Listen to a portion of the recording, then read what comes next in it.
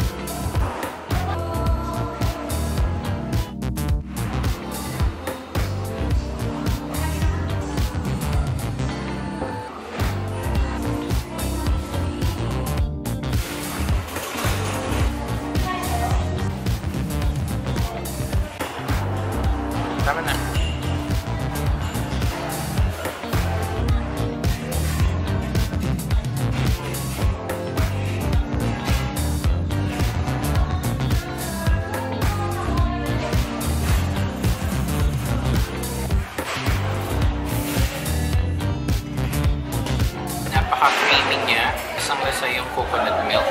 May konting spice. Nalalasa ko yung seafood flavor. Parang lasa siyang dilis. Marami siyang num-nums like crab cake, squid balls, may shrimp, and tofu. Sarap naman siya.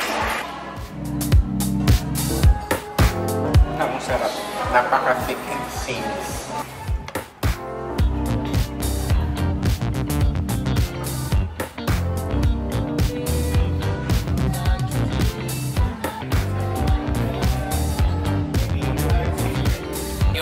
Teow nila, more on the sweet side. Meron pa rin peanut flavor. Nakukulangan ako sa smoky flavor. Yun kasi yung signature flavor na natikman namin sa char kway teow sa Singapore tsaka sa Malaysia. Pero other than that, kalasa naman.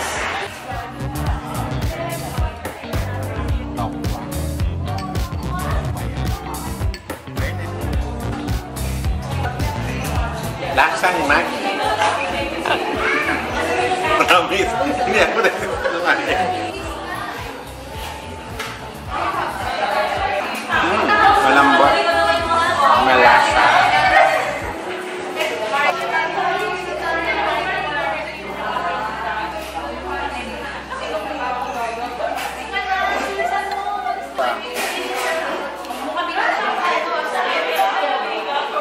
First time namin kumain ng bako kasi hindi talaga namin alam kung ano i-expect. Pero parang ini-expect ko marami siyang herbs and spices. So parang hindi ko siya nalalasahan dito. Sarap yung ribs. Very tender at nanunungot yung lasa nung sataw. Lasa siyang butter. Nalala ko yung kinain natin sa Singapore. Malasa tsaka malaking flavor. Manamis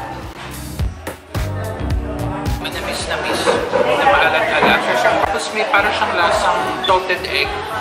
Ang kausap ko na lang lagi ng Ken Kuya.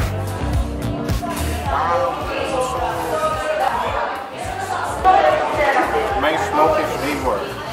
Ang sarap. Hindi rin siya maalat. Mukha lang nito. bawat butil ng bigas coated ng soy sauce. So, manamis na miss na maalat-alat. Tapos nangingibabaw yung flavor ng chorizo. Tapos meron siyang smoky flavor, which is very important. Malambot naman yung chicken.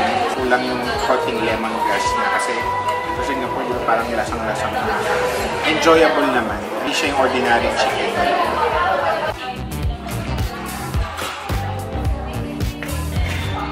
Lasang-lasa naman yung chicken.